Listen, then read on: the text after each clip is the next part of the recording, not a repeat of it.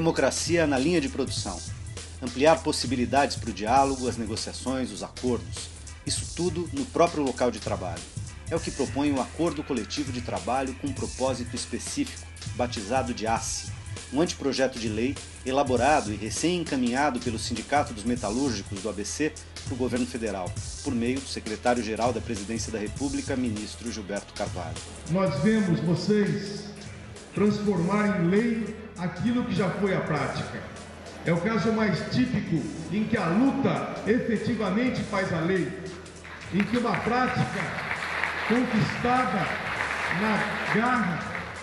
Proposto pelo Executivo, se aprovado pelo Congresso, o ACE será um marco regulatório capaz de modernizar relações de trabalho, estabelecendo normas para a representação sindical no interior das empresas e para a negociação coletiva permanente com segurança jurídica. Debater as diretrizes apresentadas pelo ACE e os critérios para que ele seja colocado em prática é agilizar a resolução de problemas advindos da relação capital-trabalho, é fortalecer a representação sindical e promover a consolidação de direitos dos trabalhadores. Por um país melhor e mais justo.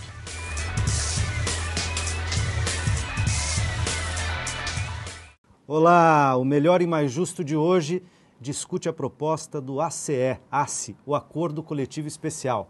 Para essa conversa convidamos Sérgio Nobre, que é o presidente do Sindicato dos Metalúrgicos do ABC, Newton Júnior, diretor de Recursos Humanos da Volkswagen do Brasil, e a doutora Jane Granzotto, desembargadora do Tribunal Regional do Trabalho, segunda região, São Paulo. Bem-vindos. A consolidação das leis do trabalho, CLT, que é de 1943, foi importante, por exemplo, por estabelecer a jornada de oito horas, férias, 13º salário, mas, entre outros problemas, limitou a negociação coletiva a uma vez por ano na database. Para especialistas, essa limitação dificulta o entendimento entre trabalhadores e empresários e cria uma enorme demanda ao Poder Judiciário. O resultado, entre outros, é passivo trabalhista para as empresas, lentidão para o trabalhador receber o que é de direito e prejuízo, prejuízos à nação que arca com os custos desse sistema. Nesse sentido, que benefícios podem surgir quando a representação sindical se estabelece na fábrica, como já acontece há 30 anos em algumas empre empresas, como por exemplo a Ford? Bem-vindos. Eu vou ser cavalheiro, começar com as damas. Doutora Jane, o que é exatamente o ACE, o ACE, e como que a representação sindical direto dentro da fábrica, no cotidiano do trabalho, é, pode fazer avançar as relações de trabalho? Pode, de fato? Primeiramente, muito obrigada, Luiz, pelo convite, por, pela oportunidade de estar aqui debatendo o nosso direito do trabalho, as relações de trabalho, a relação capital-trabalho. Historicamente, tão conflituosa. E a ideia do debate é exatamente estancar esses, é, esses conflitos, né? ou ao menos minimizá-los. Uh, acho que o, o, o, Sérgio seria o mais indicado para dizer, na essência, o que, que é o acordo já, já coletivo ele vai, ele especial. Apenas eu, eu faria uma ponderação com relação à consolidação das leis do trabalho.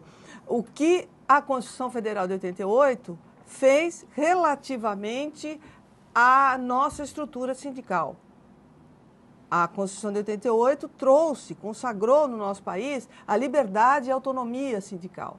Portanto, muitas regras que estão previstas na CLT acabaram por afastadas em razão dessa autonomia e dessa liberdade sindical consagradas na Constituição. Mas quais os limites dessa autonomia? Quais os limites dessa liberdade sindical?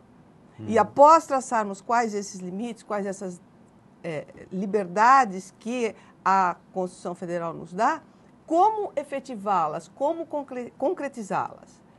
A meu ver, Luiz, a única maneira é efetivamente dar representatividade às entidades sindicais. E para que as entidades sindicais tenham representatividade, elas precisam força. ser fortes. Uhum. Para que elas sejam fortes, elas precisam que a base ou as bases estejam plenamente de acordo e conscientes.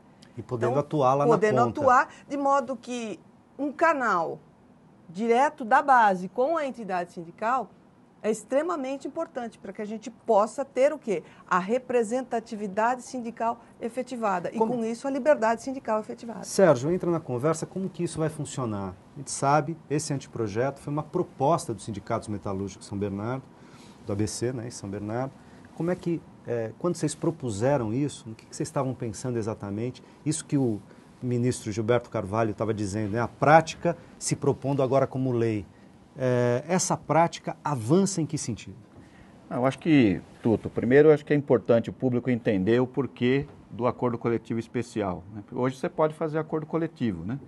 Aliás, os, os, instrumentos são dois importantes. Um é bastante conhecido, que é a convenção coletiva, uhum. que é aquela que geralmente se faz uma vez por ano, por ocasião da database, e é um acordo que envolve o coletivo das empresas da categoria. Né?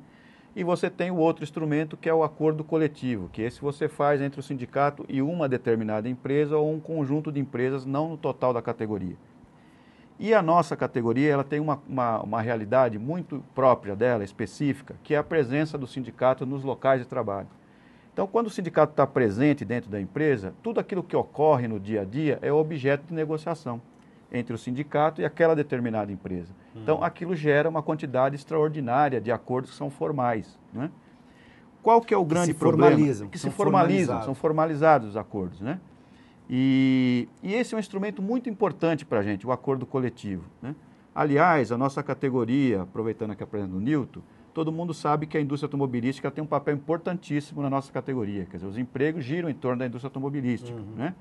E muita gente não acreditava que as empresas iriam sobreviver aos tempos modernos, porque são empresas dos anos 50. Né? Muitos especialistas diziam que o destino do ABC era desindustrializar, as empresas saírem daqui, irem para outras regiões, né? Porque eram fábricas antigas e não tinham condições de se reestruturar e acompanhar né, os processos produtivos modernos tal. Então, hoje, né, a gente viu que foi o contrário. A gente conseguiu atravessar esse período, as empresas se reestruturaram, se adequaram aos padrões modernos de, de, de produção, né, e hoje são modelos, inclusive. Agora, o que, que possibilitou isso? Foi exatamente os acordos coletivos que a gente construiu. Né? Foi através da negociação, do acordo coletivo que nós fizemos isso. Então, ele tem um peso muito importante na nossa ele vida. Ele qualifica o trabalho. Qualifica também. o trabalho. Agora, qual é o problema do acordo coletivo? É que ele não tem força de lei. Você pode fazer um acordo, mas ele tem que estar subordinado à, à lei. Né? E a lei é aquilo que você falou, é de 1943. Em 1943, a maioria da população brasileira estava no campo, nem as montadoras estavam aqui no ABC. Né? Então, é um mundo que não existe mais. Né? Então, a legislação ficou parada no tempo, só que no interior das empresas as mudanças são permanentes, a legislação não acompanha. Então, é muito difícil hoje você fazer um acordo que você consiga enquadrar o acordo coletivo na legislação e aí gera uma insegurança jurídica. Você faz um acordo, mas esse acordo não tem segurança jurídica. Então, esse é o ponto. É por isso que nós precisamos do acordo coletivo especial, né?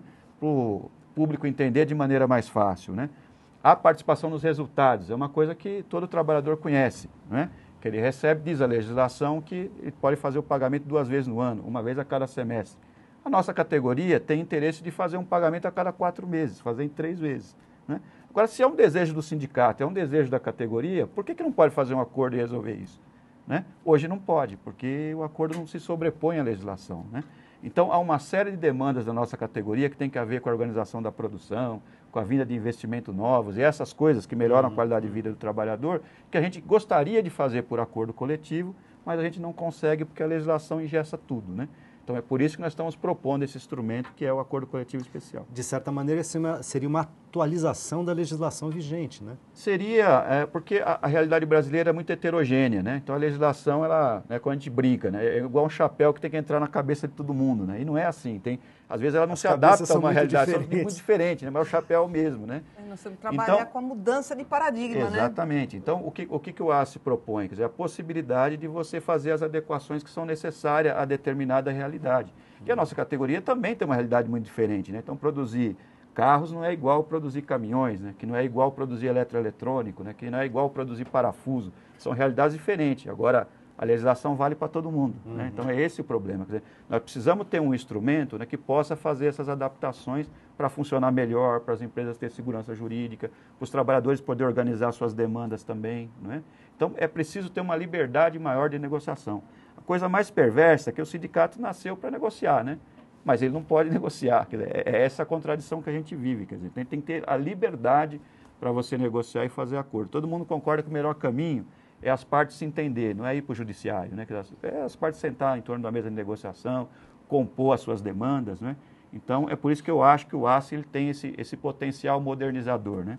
Porque inclusive, ele pode... na justiça, inclusive fora da justiça do trabalho. Quer dizer, hoje a questão é. da conciliação e de, de, construir acordos entre as é. partes eh, também é importante. Queria colocar o Newton na conversa, bem-vindo. Newton, diretor de Relações Trabalhistas da Volkswagen. Então, do ponto de vista é, de uma empresa automobilística, de uma grande, importante empresa, há muitos anos, há muitas décadas do Brasil, como que vocês veem a questão do acordo coletivo especial do ACE?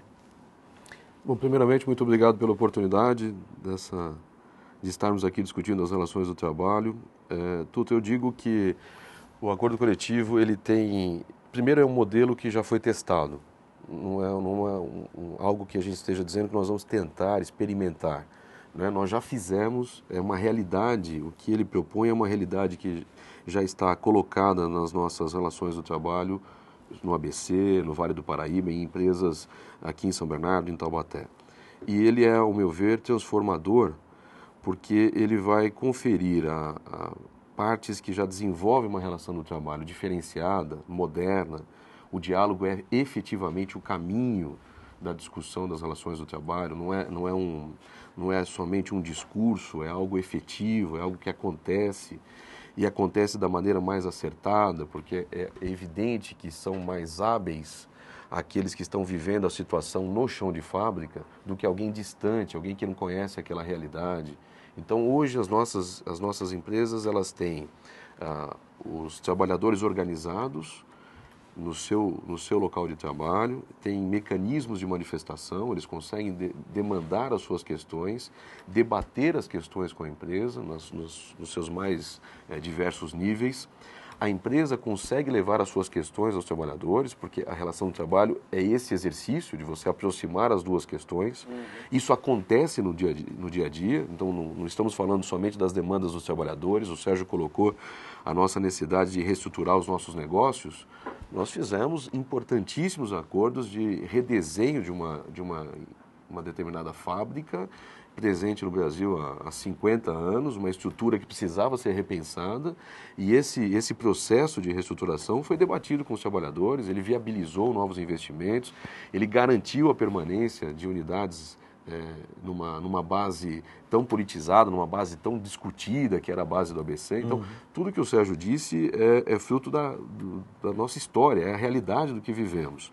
E eu acho que ele consegue transformar a relação do trabalho, porque ele oferece a essas partes que já alcançaram essa, é, esse desenvolvimento a oportunidade de fazer aquilo que elas considerarem que é bom para as duas.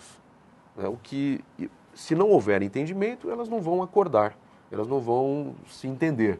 Então, daquilo em que o debate foi possível, daquilo em que as duas partes chegaram a uma convergência, elas têm que ter autonomia, liberdade de regular essa condição. Você está falando de uma coisa fundamental. Eu queria fazer essa pergunta, inclusive, para aproveitar aqui o nosso primeiro bloco, para o nosso telespectador entender efetivamente agora as nuances do acordo coletivo especial do ACE.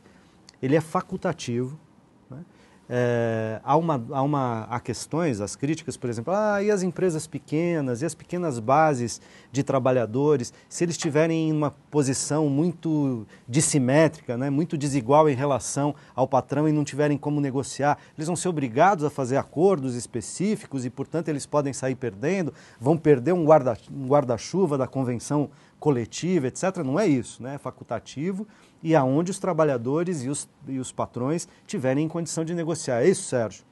Tem, tem duas coisas que é importante. Né? Por que, que no Brasil você, você tem pouca negociação? Né? Uma é uma relação desequilibrada que existe entre o que pode né, o empresário e o que pode os trabalhadores. Né?